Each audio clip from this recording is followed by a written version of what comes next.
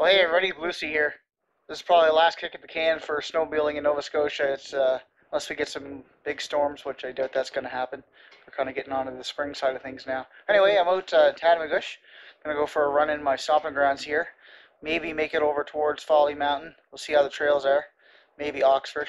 Anyway, come along for the ride. Let's have some fun.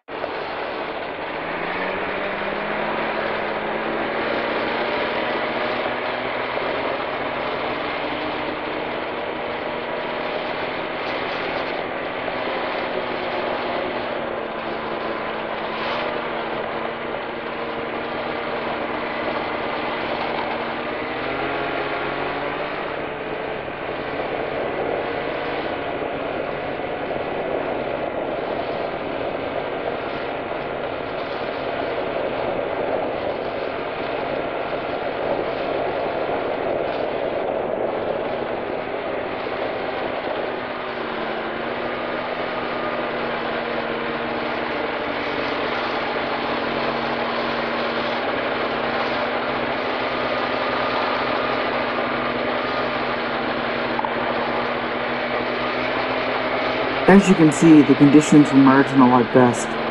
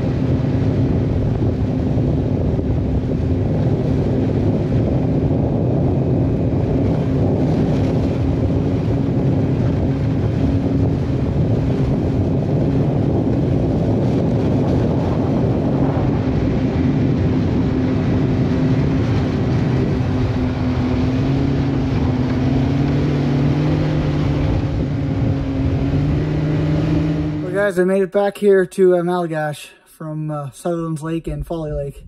It was a great day overall. Uh, the conditions on the uh, Malagash side are uh, not very great, marginal at best. But I got back. It was great over there. Had a good time. Hope you like this video. Please like and subscribe. Blue Sea out. Live off the land.